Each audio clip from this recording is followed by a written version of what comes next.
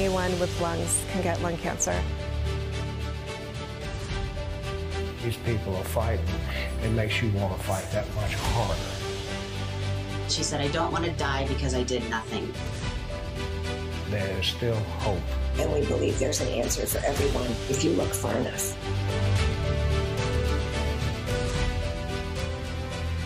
I'm Carla Hill, and welcome to Hope is Here. Lung cancer doesn't respect life's plans. Emily Bennett Taylor knows that better than anyone else.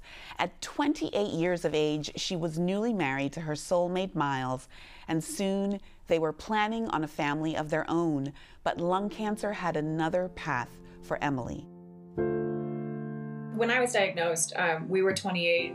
We were newlyweds. We'd been we married for a little less than two years, and we had decided that we were going to start a family really soon. Um, we were looking to buy a house and kind of just make our way into that next stage of life. The world crashed down. I think Miles always says it best when he says, you know, it's like we had to push pause on our life. I'm Emily Bennett Taylor. I'm stage four lung cancer survivor. And I'm Miles Taylor, and I'm her husband.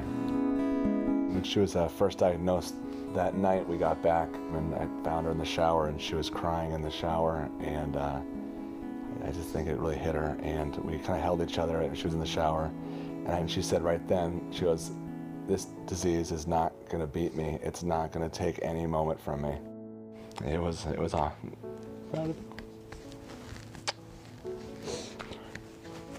She's amazing. And I wasn't going to let it beat me. I remember at the very beginning telling Miles, well, this is going to be a really tough, you know, next six months, year, however long it takes.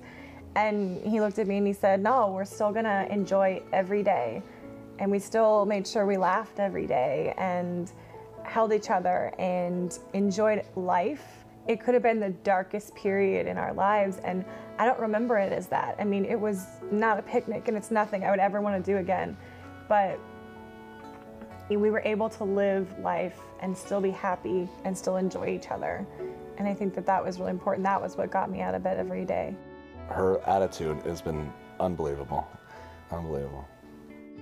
You appreciate every moment so much. With her, I, mean, I, I think I could uh, love her anymore, but uh, there's definitely a whole new level. It's, it's been an incredible experience. Yeah. It's still what you didn't have to go through, it, but Yeah. it's, it's been there isn't there is a reward. There is a silver lining. Yeah. Yeah. Joining us is Emily Bennett Taylor and her husband Miles. Welcome to Hope is Here. Let's start at the beginning. First of all, how are you? Good, thank you. Thank you for having us. We're doing really well, thank you.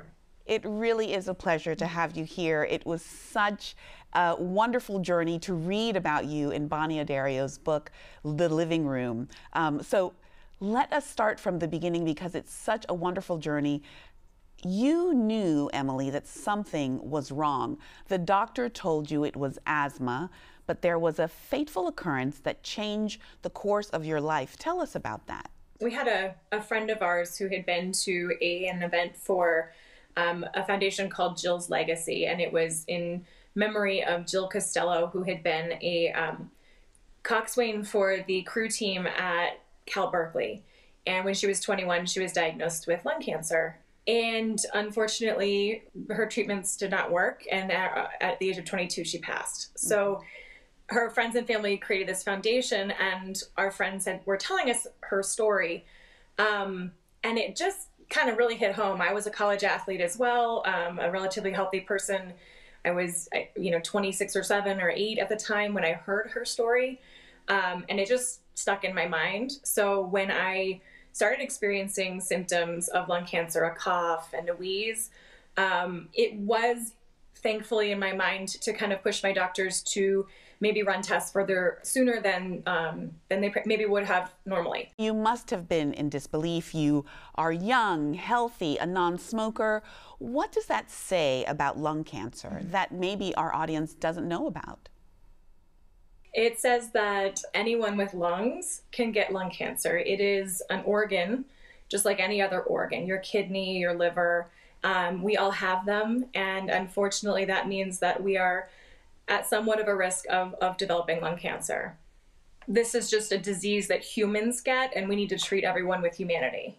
Thank you for sharing that, Emily. I want to get to your husband, Miles, who is sitting there right next to you, loving you up. I just love to see that. Miles, you became yeah. like a ninja warrior when it came to the research of lung cancer. No, really. I mean, the story is incredible. You left no stone unturned.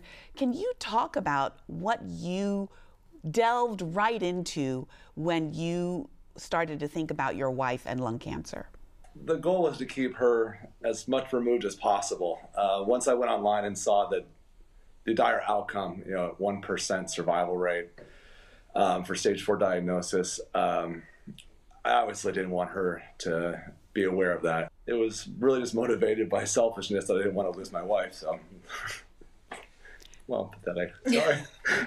oh, well, Miles, tell me um, about the research yeah. you did the but oh you all you're so precious. Thank you for sharing that and i realize this is so emotional but um, i want you to let our audience know you really delved deep and found some japanese research. Can you go into a little bit more about that? Late at night when she would go to bed i kind of just start you know doing you know, page six google searches and searching for anything you know survival cases and unfortunately i wasn't really any cases to pull off of. But there was some research that we found that going on um, uh, in Japan where surgeons were doing full resections of the lung and neighboring organs that were. Um, you know, infected as well with with the uh, disease, and the survival rates, although they weren't, um, you know, much higher, they were still going the, you know, teens and 20%. And so for mm-hmm. us, that was increasing the, you know, the likelihood of survival. So that's where we wanted to go down that direction.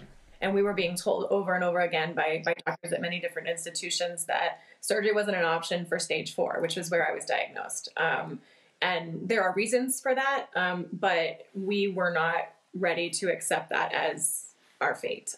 And sometimes it's knowing what not to say that makes a good caregiver. Would you say that that is what got you through it, Emily? I mean, I full on walked into my diagnosis appointment with my doctor, and she said stage four, and I didn't know that much about cancer, and I, I, that didn't mean any difference to me if she had said stage one, two, or three, and that's because Miles sheltered me um, from a lot of that, and I think having a caregiver who does that um, for you and can take a lot of that burden on Mm-hmm. I mean, that's invaluable. I, I, I will forever be grateful for that. You walked into doctors' offices with this research from Japan. How long did it take until you found someone that would listen to you in terms of this being a, a lifesaver for you, Emily, or Miles? Take this. Yeah, um, obviously it was outside the box thinking, and it went against typical treatment. Um, she was definitely being pushed towards more of a palliative care treatment. Mm-hmm. And unfortunately, it wasn't a path that people were really willing to go down. Uh, but fortunately, her college roommate uh, heard a surgeon while at a conference in, um, on the East Coast, and she recommended we reach out to a, a specific surgeon named Dr. Raja Flores, who was doing some innovative treatments for mesothelioma patients. Mm-hmm. And um, that kind of what changed our lives. Initially, we are hoping that she would have a genetic marker so she can get a specific uh, you know, a chemotherapy pill that she could take. Mm. Unfortunately, mm. Emily was negative for all those genetic markers. So she was going down a traditional chemotherapy path. And you know, I think she had a 20% chance of having a positive reaction or even remaining stable off mm. the chemo initially. But we were told that over time, even if she did have a positive reaction, which she did, that it would eventually, the uh, tumor would adapt to the treatment and eventually start continuing to grow. So we knew we were on a short window, and we were very thankful that she had the response she did. But nevertheless, we knew that we had to have a plan B, and mm-hmm. so our goal was to get a plan B. We knew it would be pretty radical and pretty aggressive, but with her age, her strength, we were willing to get a little aggressive and, and take a chance. And was that aggressive path surgery? Yes. Yes. Every appointment we went into, Emily would say, "Can we do this? Can we do surgery now? Can we do? Can cut it out of me now?" Every single time, and um, no matter how many times she heard no, and how many times the surgeon said that wasn't a possibility, she was undeterred, and she uh, she eventually found a path to make it work. Oh my goodness. Well, Miles I'm pretty is stubborn. Yeah, I see that as as we should be when we are in the moment of doing things to save our lives. Um, Miles is the master researcher and was even, as I mentioned, reading cases from Japan. You had to have the documents translated. Tell us about the journey to finding a doctor here in the States that would perform the surgery on Emily. Or, you know, Emily, what was that journey like for you? Dr. Flores was someone that we had been in communication with since pretty early on. Um, and he said, okay, I can't, now is not a time to do surgery, but send me your scans. And so every time I got a scan, we would have it sent to him and he would review it. Okay, now's not the time. You're having a great response, but now's not the time. This is working. Now's not the time for surgery. And then finally, after my sixth round of chemo, we sent him a scan and it showed that the tumors had been knocked back by about 80% overall mm-hmm. and that you know the lining around my lung and things was um, had, had, had gone down a lot and he thought okay now now's the time to do surgery um, and i read emily in your chapter in the living room that you would visualize your tumors and all of the things related to your cancer disappearing or being uh, uh, minimized through the chemo. So it looks like you willed this surgery into your life. Would you say so? Miles would do those meditations with me at night and he would say things like, you know, your your cells are attacking the cancer cells and go into your brain and make sure it's clean and go into your arms and your legs and like make sure everything is clean and attack all the cells that are not here to further the health of your body. And you know, I think I, I hope it helped for you as well. I know it helped for me to feel like we had something to do with my health. Yes, uh, you know, I, uh, that has been a, a, theme with all of our guests this hope and visualization of wellness. I wanted to, you know, ask you, uh, Emily, I saw an interview that after the operation, you needed to know if the cancer was gone and it wasn't detectable. You asked the doctor, mm-hmm. and what did the doctor say?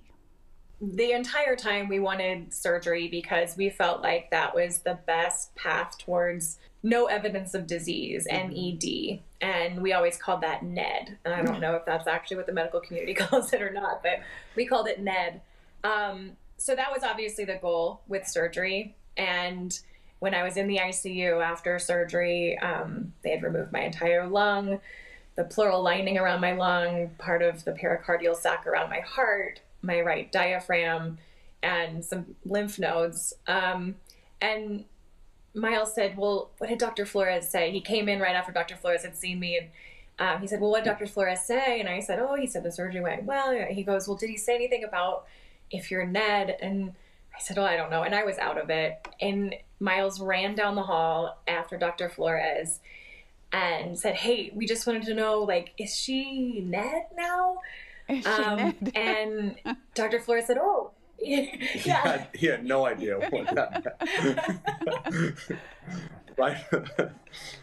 Uh, yeah, and then Miles explained, "Oh, we mean NED, no evidence of disease." He goes, "Oh, yeah," and he came all the way back. Oh, and wow! He, you know, he explained it to me that yes, I was, I did have no evidence of disease, and Miles found a piece of paper and wrote down NED with the date 2913 on it and pinned that up um, on the TV in my ICU room so that you know I could see it from wherever I was in the bed and that was just that was a momentous day for us.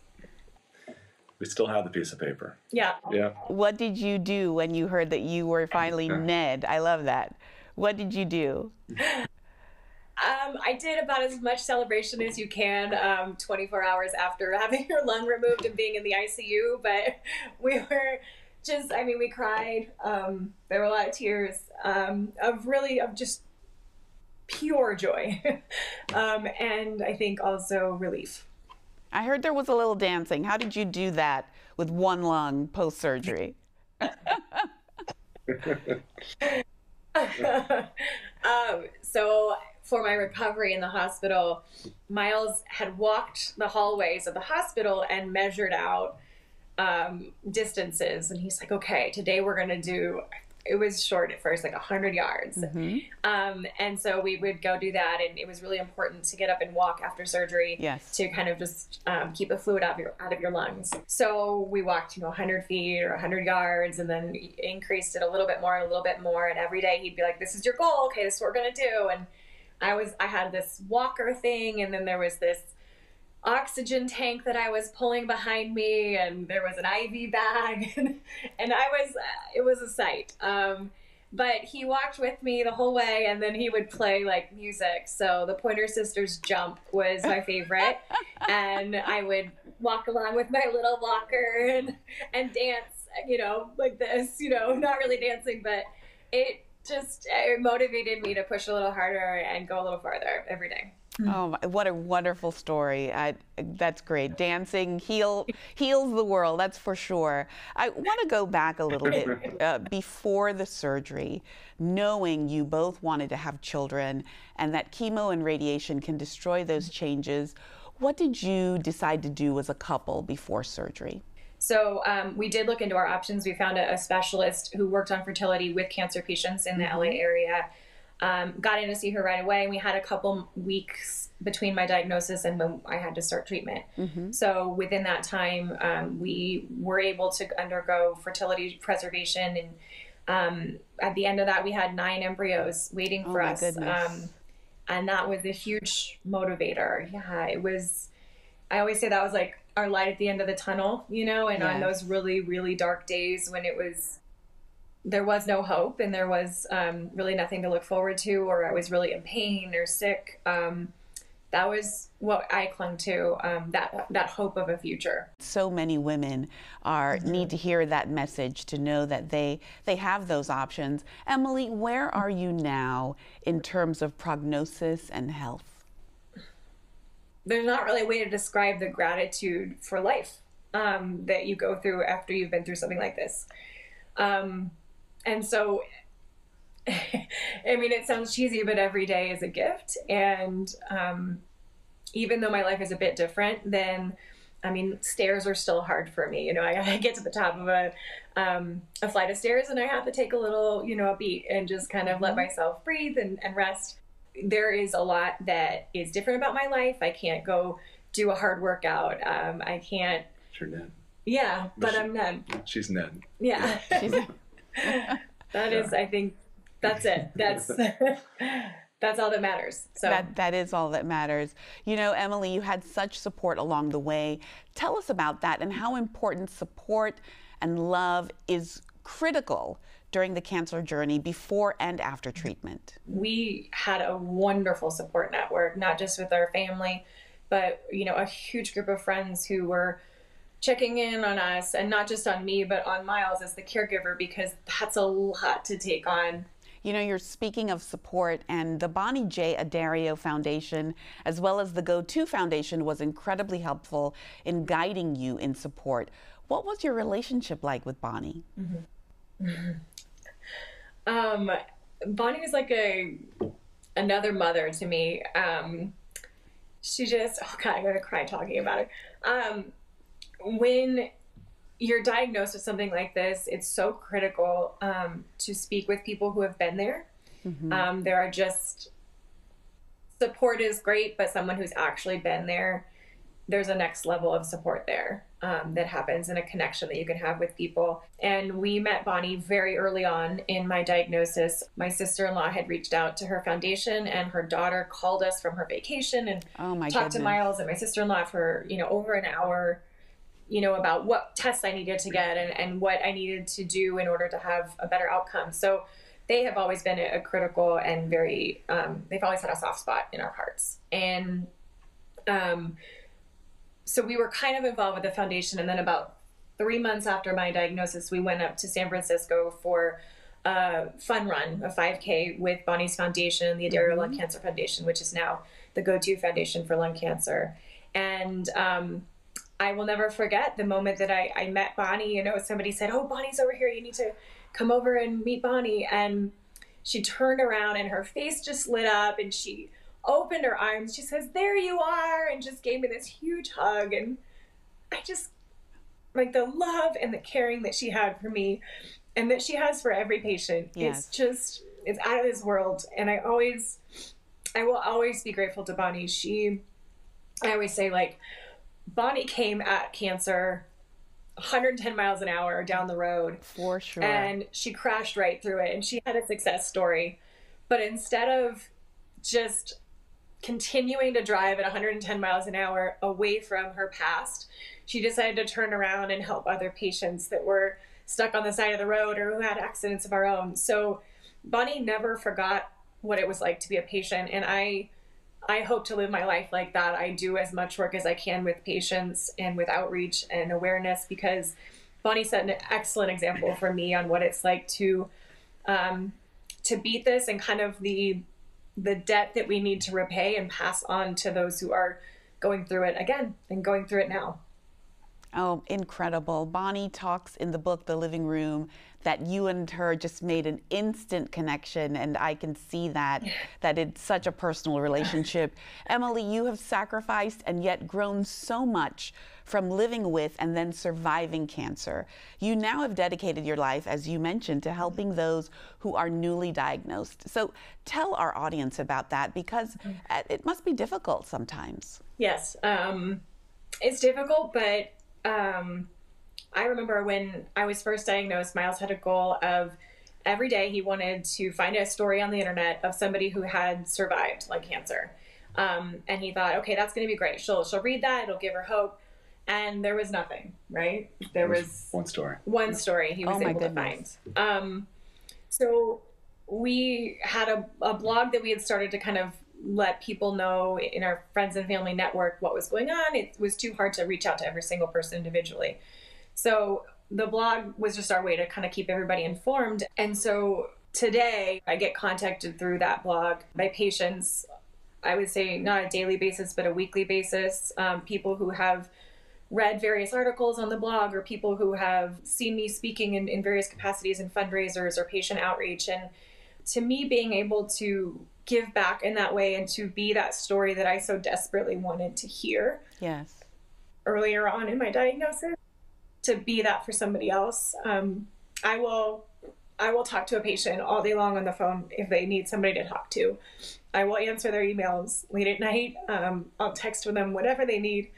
Um, not just trying to get them on a good path for you know making sure they've got the right tests and the right treatments and the right doctors, but making sure that, that they know that there's someone there who has been through this experience and who can walk them through it. You work through your blog, you speak with patients, you also speak at conferences. I saw that one video of a dynamic speech where you implore doctors in the medical world in general to do more to bring the survival rate up. There was also an emotional and an unexpected announcement that took everyone by surprise. Let's watch now. As a patient advocate and spokesperson for the ALCF, I see all too often how devastating this disease can be. It can take away life's precious moments. But by being here, all of us are fighting back and getting back those moments. It is because of my aggressive care team that I am able to share that just a few days ago, my husband and I received the news that our surrogate is pregnant. I will be a mother.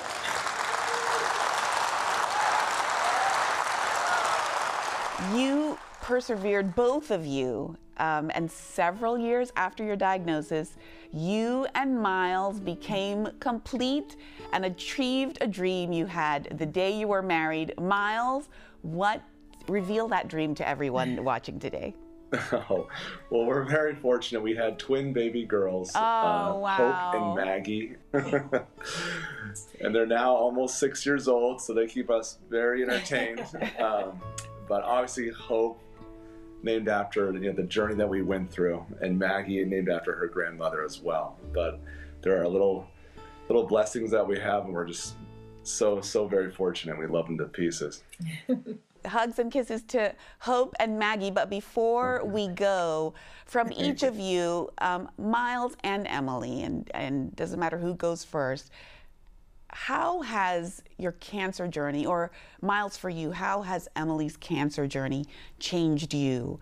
Um, this is a question for each of you. Wow. Um, I think what amazed me the most was when she was first diagnosed, I was so apprehensive to ask for help. I thought it was, you know, we were dealt a bad hand, but it was our responsibility to deal with it. I didn't want to put our burden on someone else. And you know, through that blog and through reaching out to uh, our, family and friends as they were, you know, became more aware of the situation we were in, I was overwhelmed by the response and mm-hmm. the help that we got. And um, it's amazing what people are capable of doing. And I've just learned, yeah, it's okay to raise your hand and ask for help and to, um, what the, the power of a group of people, what they can do. That's what blew my mind. Emily, what about yourself? I try to give others grace when, um, you know, before somebody might have cut me off on the road and I would have been upset. Um, but now I realize, okay, well, you never know what someone else is going through, mm-hmm. and you never know what kind of a day they've had. You know, maybe they just got a diagnosis like this. Maybe someone that they love is, is, has a diagnosis of something. When someone does something intentional or unintentional, I just feel like I do my best to realize that everyone has something going on in their lives and you never know what that might be. So give them the grace to, you know, just if they cut you off, they cut you off. It's not a big deal. So I think patience and, um, yeah, understanding.